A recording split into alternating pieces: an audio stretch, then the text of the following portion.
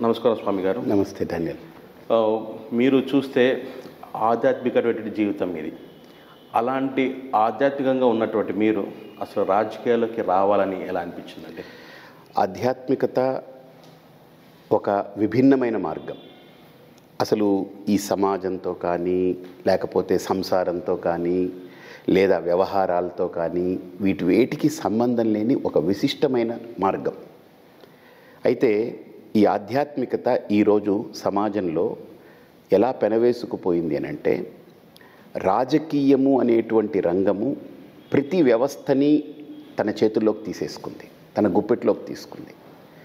అందులో ఈ ఆధ్యాత్మిక వ్యవస్థని ప్రధానంగా గుళ్ళు గోపురాలు మఠాలు మందిరాలు గోశాలలు ఆశ్రమాలు స్వామీజీలు మొత్తం అంతా కూడా రాజకీయ నాయకుల యొక్క కబంధ హస్తాల్లో చిక్కుకుపోయినారు వాళ్ళు. అన్నీ ఈరోజు మనం ఓపెన్గా మాట్లాడుకుందాం. అన్ని మతాలు ఈరోజు రాజకీయాలే రాజకీయాలతో కలబడిపోయినాయి. ఒక మసీద్ తీసుకుంటే ఒక ఫత్వా జారీ చేస్తే మనం పలానా పార్టీకి ఓట్లేయాలి అని అంటే ఖచ్చితంగా వాళ్ళందరూ మత అనుయాయులందరూ కూడా దాన్ని ఫాలో అవుతున్నారు. Can anyone say no it is happening in this nation and Christian philosophy తీసుకుంటే పవిత్రమైనటువంటి బైబిల్ని గ్రంథాన్ని వాళ్ళు నమ్ముతారు. పవిత్ర గ్రంథం అనుకుంటారు ప్రభు అనుకుంటారు ఆరాధిస్తారు.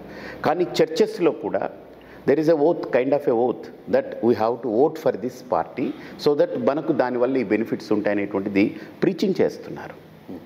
సో చర్చిల్లో మసీదుల్లో జరుగుతున్నాయి. అన్ఫార్చునేట్ థింగ్ ఏంటంటే టెంపుల్లో జరగట్లేదు. ఓకే. ఈ విషయం. ఐ కెన్ సే ఓపెన్లీ ఎందుకంటే టెంపుల్లో మాకు చాలా స్ట్రిక్ట్గా పెడతారు. ఏంటనంటే ఇక్కడ ఏది వర్తించదు అది. కానీ అవన్నీ నడిపేది రాజకీయ నాయకులు. చర్చిలు మసీదులు రాజకీయ నాయకులు నడపరు కాబట్టి అది ఓన్లీ వాళ్ళు ఎక్స్క్లూజివ్గా చేసుకుంటారు కాబట్టి ఆ బోర్డులు పెట్టుకోవాల్సిన అవసరం లేదు. కాబట్టి ఇక్కడ ఏంటనంటే నేనేం ఆలోచించానంటే ఈరోజు మతాన్ని రాజకీయాన్ని విడదీయలేనటువంటి అవినాభావ సంబంధంతో ఏకమైపోయింది. ఓకే. ఈ నేపథ్యంలో ఈరోజు నేను ఒక స్వామీజీగా నేను బయటికి వచ్చి ఒక ధర్మం కోసం దేశం కోసం ఒక అడుగు పెట్టాను. రెండోది నా ప్రతి అడుగులో మీరు గమనిస్తే ఒక మతానికే నేను ప్రాధాన్యత ఇస్తాననో లేకపోతే మిగతా మతాల్ని నేను నాశనం చేయాలనుకుంటున్నాను ఇప్పుడు నా భావనలో లేదు. ఇప్పుడు కాదు నా ముప్పై ఏళ్ళ ప్రస్థానంలో నేను ఎప్పుడూ ఏ మతాన్ని విమర్శించలేదు. ఈరోజు నా అఫిడవిట్ తీసుకుంటే నా కులం అడిగితే కూడా నేను సన్యాసిని నా కులంతో పని లేదు. కాబట్టి జాతి నీతి కుల గోత్ర దూరగం అంటారు. ఒక సన్యాసి అని అంటే జాతి నీతి కులము గోత్రము వీటన్నిటికీ అతీతమైన వాడు అలాగనే నేను బ్రతుకుతున్నాను ఏ రోజు నా క్యాస్ట్ని క్లెయిమ్ చేసుకుని సమాజంలో బ్రతకలేదు ఇప్పటి వరకు. భవిష్యత్తులో కూడా నాకు అటువంటి దౌర్భాగ్యపు స్థితి వస్తుందని నేను అనుకోను. ఒకవేళ అటువంటి స్థితి వస్తే అన్నిటినీ వదిలేసి వెళ్ళిపోతాను కానీ దాన్ని వాడుకొని బతకాలనేటువంటి ఆలోచన నేను పెట్టుకోను. కాబట్టి నాకు కుల మతాలకి ప్రాంతీయ భాష భేదాలకి వయోభేదాలకి అతీతంగా ఒక అద్భుతమైన ఒక రాజకీయ వ్యవస్థ గొప్పది. దాంట్లో ఈరోజు మనం చూస్తే గందరగోళం ఏర్పడిపోయింది. దాంట్లో మనం దిగాలి మన అవసరం ఉంది. మొట్టమొదట రాజకీయ ప్రస్థానానికి నాకు ప్రధానమైన కారణం ఏంటంటే నేను రాజకీయంగా ఒక అడుగు వేయాలి.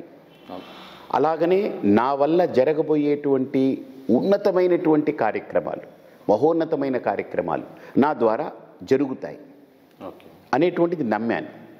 అందుకే ఆధ్యాత్మికంగా ప్రవచనాలు ఇచ్చిన సేవారంగంలో ఉన్న రకరకాల కార్యక్రమాలు చేపట్టిన కోట్లాది మందికి చేరువయ్యేటువంటి అద్భుతమైన కార్యక్రమాలు చేపట్టిన ఇప్పుడు నేను ఎన్నో కొన్ని కోట్లాది మందికి ఈ రాజకీయ రంగంలో మేలు చేకూర్చేటువంటి అవకాశాలు ఎక్కువగా ఉన్నాయి. ఓకే దాన్ని మనం ఉపయోగించవచ్చు మనకు స్వార్థం లేదు. కుటుంబం లేదు వెనకాల బాదరబందీలు లేవు. ఏ ఊర్లో అయినా ఉండొచ్చు. నాకు ఒక ఊరు అనేది ఏం కాదు. ఎందుకంటే అన్నీ వదిలేసిన వాడికి ఏ ఊరైనా తన ఊరే. తల్లి తండ్రి అనేటువంటిది ఎప్పుడైతే మనం త్యజించామో అన్నం పెట్టే ఏ చేయైనా నాకు తల్లే. నాకు నన్ను బాగున్నారా అని అడిగే ఏ ఏ మగవాడైనా నాకు తండ్రే. కాబట్టి ఇలాంటి ఒక మంచి జీవితాన్ని నాకు భగవంతుడు అనుగ్రహించాడు. ఈ ప్రకృతి అనుగ్రహించింది. దాన్ని నేను సద్వినియోగం చేసుకునే దానికి ఇది ఒక మంచి మార్గం అని ఎంచుకున్నాను. ఓకే. అంటే మీరు అన్నదాని ప్రకారంగా ఆధ్యాత్మికమైన జీవితం మంచి జీవితం. కానీ మీరు అన్నది అది ఒక రకమైనటువంటి పూల్ పూల పాన్ పువ్వు వంటిదే.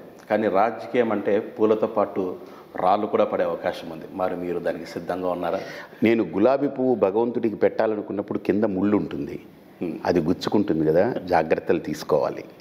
ఆ జాగ్రత్తలు తీసుకుంటాం ఒకటి. రెండోది నాకు భగవద్గీత నేర్పిన ఒక అంశం ఏంటనంటే నీకు అవమానం ఎదురైన సన్మానమైన జయమైన అపజయమైన లాభమైన నష్టమైన నీదంటూ ఏదీ లేనప్పుడు ఇవేమి నిన్ను పట్టుకుంటాయి?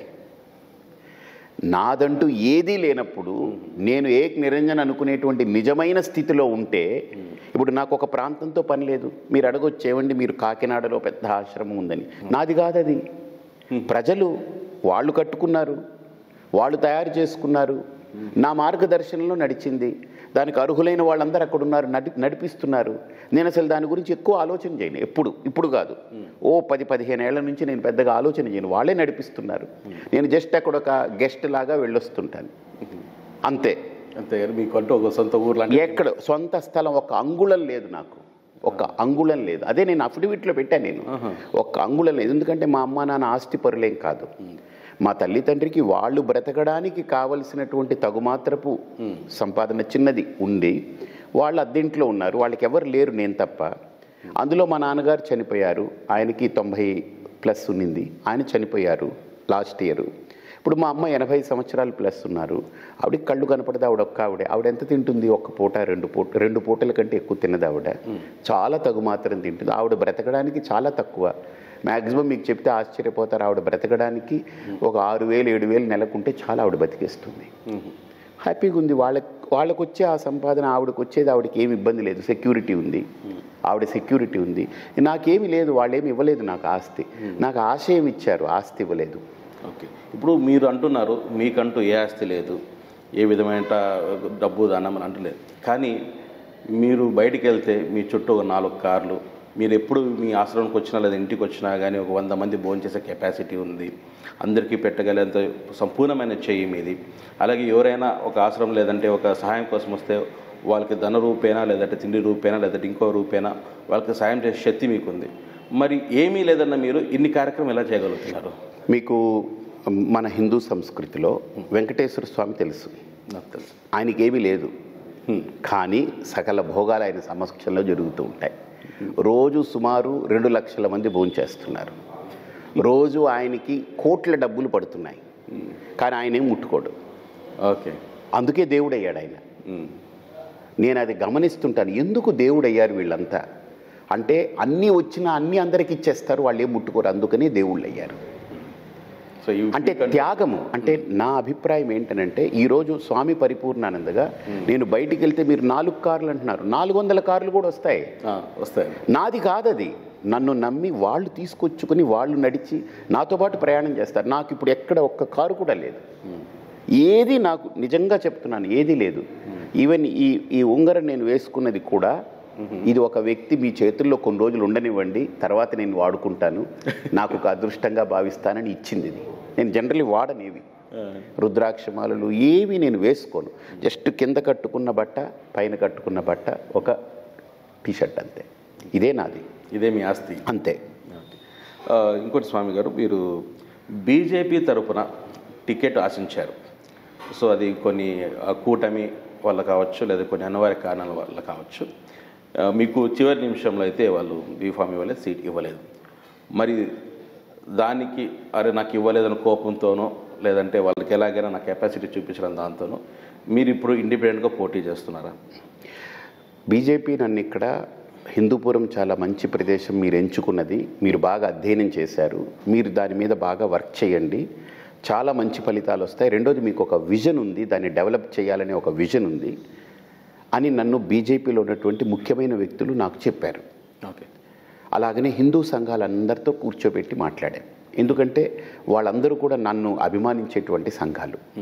ప్రత్యక్షంగా నా దగ్గరకు వచ్చి అంటే ముస్ ముస్లిమ్స్లో ఉన్నారు క్రిస్టియన్స్లో ఉన్నారు నాస్తికులు కూడా నన్ను ఆదరిస్తారు. అవన్నీ వేరే విషయం. కానీ ప్రత్యక్షంగా వీళ్ళు ఓపెన్గా నాతో బాహాటంగా వచ్చి నాతో నడిచేటువంటి సమాజం. వాళ్ళందరితో కూర్చోబెట్టి మాట్లాడాను. వాళ్ళు కూడా లేదండి మీకు మంచి ప్రదేశం అది. చాలా బాగుంటుంది. మీరు గెలుస్తారనేటువంటి ఆలోచన తరంగాలు కూడా అక్కడ బాగున్నాయి. మీరు వెళితే బాగుంటుంది. మీ యొక్క ఆదర్శం చాలా బాగా అక్కడ అద్భుతంగా ఫలిస్తుందన్నారు. సరే అని వచ్చి నేను ఐదు నెలలు నేను ఇక్కడే ఉండి అందరికీ తెలుసు తిష్ట వేసుకుని అధ్యయనం చేస్తూ ఇక్కడ ఏ ఏ నియోజకవర్గంలో ఏ లోటుపాట్లు ఉన్నాయి. ఇక్కడ ఏ అభివృద్ధి చేస్తే నియోజకవర్గం స్వతసిద్ధంగా అభివృద్ధి అవుతుంది? అక్కడ ప్రజలు వీళ్ళు వేసేటువంటి పడేసేటువంటి ఈ జస్ట్ ఈ ముష్టి కాగితాలకు కాకుండా వాళ్ళు సొంతంగా సంపన్నులు అవుతారు రాజకీయ వ్యవస్థలు ఎలా ఉంటుందంటే డానియల్ గారు ఒక ఆలోచన ఏంటంటే ఇప్పుడు నేను ఇస్తూ ఉంటే వాడు నా దగ్గర తీసుకుంటూ ఉంటే వాడు నాకు ఓట్లు వేస్తూ ఉంటాడు. నేను ఇస్తూ ఉంటా వాడు తీసుకుంటూ ఉంటాడు. వాడు వేస్తూ ఉంటాడు. కాబట్టి ఓట్లు వేస్తూ ఈ మూడు ఇస్తూ ఉండడం తీసుకుంటూ ఉండడం వేస్తూ ఉండడం ఇది జరగాలని కోరుకుంటారు వాళ్ళు. నాలాంటి వ్యక్తి ఏమనుకుంటామంటే ఇవ్వడం తీసుకోవడం వెయ్యడం కంటే నువ్వు ఎలా అభివృద్ధి అవుతావు నువ్వు స్వతంత్రంగా అని ఆలోచించే ప్రణాళిక నా దగ్గర ఉంటుంది. ఓకే.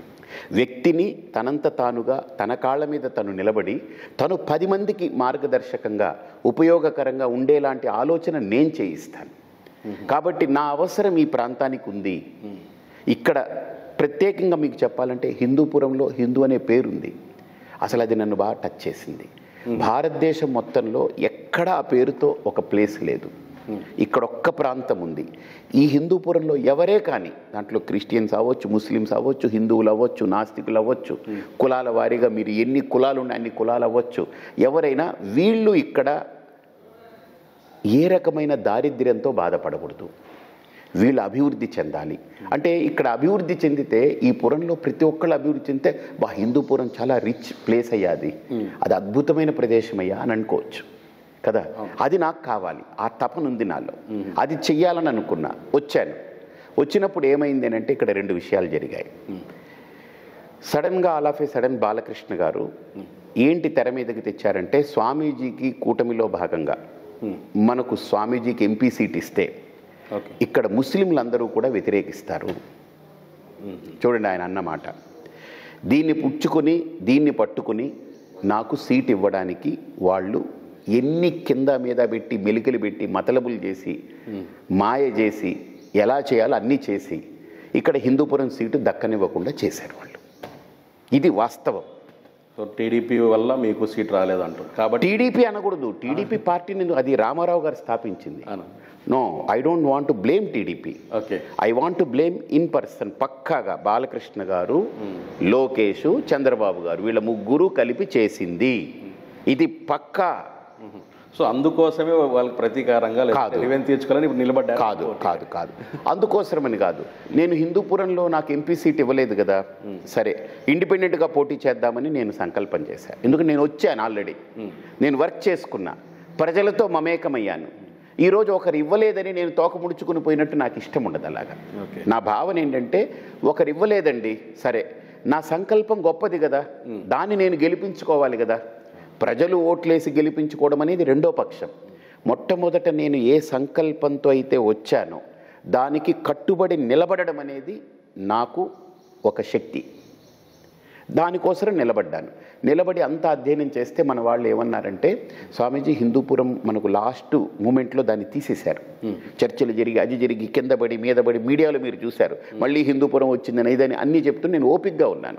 ఆఖరికి ఫైనల్గా ఎప్పుడైతే అందరూ కూర్చొని ఇంకా హిందూపురం లేదని తేల్చారో ఇక నాకు నామినేషన్ వేయడానికి దానికి చాలా తక్కువ టైం ఉంది అప్పుడు అందరూ ఏమన్నారంటే స్వామీజీ హిందూపురం మొత్తం ఎంపీగా మీరు వేస్తే హిందూపురం పార్లమెంట్కి ఏడు అసెంబ్లీ నియోజకవర్గాలు సెగ్మెంట్లు మీరు తిరగాలి. మీ దగ్గర సమయం తక్కువ. ఇప్పుడు మీరు ఆ తక్కువ సమయంలో ఇవన్నీ తిరిగి మీరు సాధించాలంటే కష్టం. కాబట్టి మీరు ఏం చేయాలి? హిందూపురం పేరిట ఉండే ఒక అసెంబ్లీ ఉంది. మీరు బాగా దాని మీద వర్క్ చేశారు. అధ్యయనం కూడా చేస్తున్నారు. అది కూడా హిందూపురం అసెంబ్లీయే కదా. ఏమో కాలం మిమ్మల్ని ఆ రకంగా కోరుకుంటుందేమో. నువ్వు నువ్వు ఢిల్లీకి వెళ్ళడం కాదు నువ్వు ముందు ఈ రాష్ట్రంలో ఉండాలని నన్ను ఈ రాష్ట్రం కోరుకుంటుందేమో. కాబట్టి ఈ అసెంబ్లీ కోరుకుంటుందేమో. కాబట్టి హిందూపురం అసెంబ్లీకి పోటీ చేయాలనేటువంటి సంకల్పం దృఢంగా నిలబడింది.